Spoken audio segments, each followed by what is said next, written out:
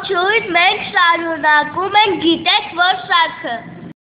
Այսօր խոսելու ենք լուսնի եւ աստղերի մասին։ Իսկ դուք գիտեք, որ լուսնի վրա ջուր եւ ոչ չկա, ուրեմն չկա նաեւ կյանք։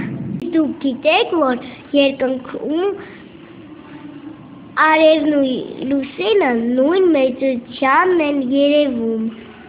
Լուսինը լույս չունի, արևը իր լույսից մի քիչ փոխանցում է լուսնին։ Լուսնի վրա լեռներ կան։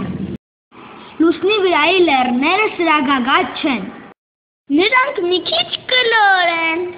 Լուսնի վրա մեծ ու փոքր փոսեր կան։ Լուսնի փոսերը մեզ երևում են սև կետերի տեսքով։ Լուսնի մակերևույթը տխուր տեսք ունի։ Արևը ավելի մեծ է լուսնից։ Հետո արևը ավելի հեռու է մեզից։ Գիտնականները կարող են աստղերը հաշվել։ Աստղերը մենք չենք կարող հաշվել։ Աստղերը անթիվ անհամար են։ Երբ արևը մայր է մտնում, երկինքը մթնում է։ Այնտեղ հայտնվում են աստղեր։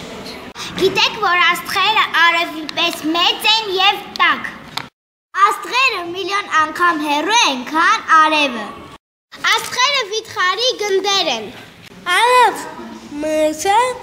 քան մուսինը։ Ես այդ երրորդ դասարանցիներն են։